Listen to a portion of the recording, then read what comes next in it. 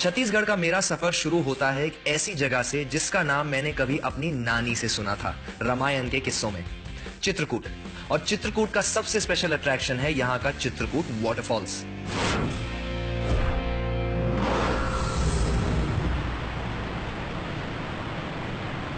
छत्तीसगढ़ के जगदलपुर शहर से 40 किलोमीटर दूर ये एक नेचुरल वाटरफॉल है, जो इंद्रावती नदी पे बनता है।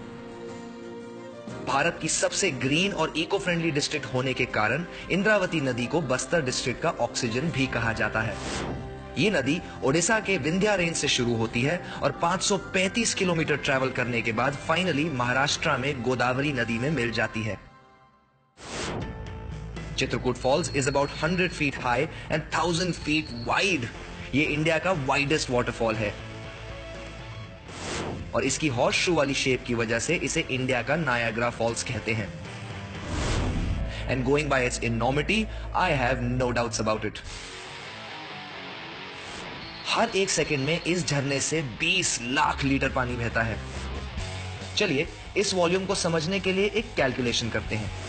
दिल्ली की करंट पॉपुलेशन लगभग दो करोड़ है and it requires about 332.4 crore litres of water every day जिसका मतलब ये है कि इस झरने से पर सेकंड 20 लाख लीटर गिरने वाला पानी आधे घंटे में पूरी दिल्ली को वाटर सप्लाई कर सकता है। मतलब कि अगर ये माने कि एक इंसान on an average per day दो लीटर पानी पीता है तो पूरे इंडिया की 1.2 बिलियन पॉपुलेशन की प्यास ये वाटरफॉल 20 मिनट में पूरी कर सकता है। ओ ये तो हुई साइंटिफिक कैलकुलेशन अब जरा अपने तरीके से समझाता हूँ। एक हाथी का एवरेज वज़न करीब 4000 किलो होता है। तो इन चट्टानों के ऊपर से गिरने वाले पानी का वेट करीबन 500 हाथियों के वेट के बराबर है। कमाल है यार। यहाँ अगर एक हाथी का पैर किसी इंसान पे पड़ जाए तो उसका कुछ नहीं बचता। इन बेचारे पत्थरों का क्या हाल होता होगा? चित्रकूट की डेप्थ एक ऐसी मिस्ट्री की याद दिलाती है, जो शायद ही मैं कभी समझ पाऊँगा। हर सीज़न इस झरने का रंग बदलता है। चित्रकूट कुछ अपने ही मूड के हिसाब से चलता है।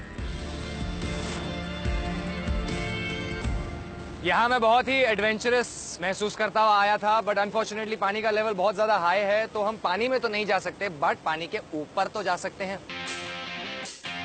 Which is why I have found myself this flying fox activity organized here by the tourism uh, department and the government of Chhattisgarh.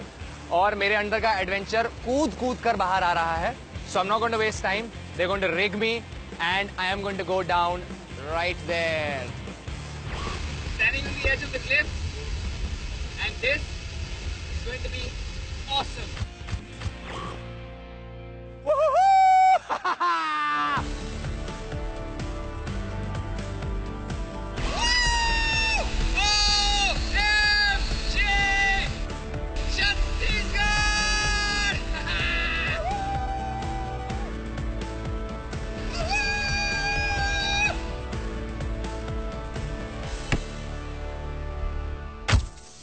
Chhattisgarh का ये experience will stay forever with me.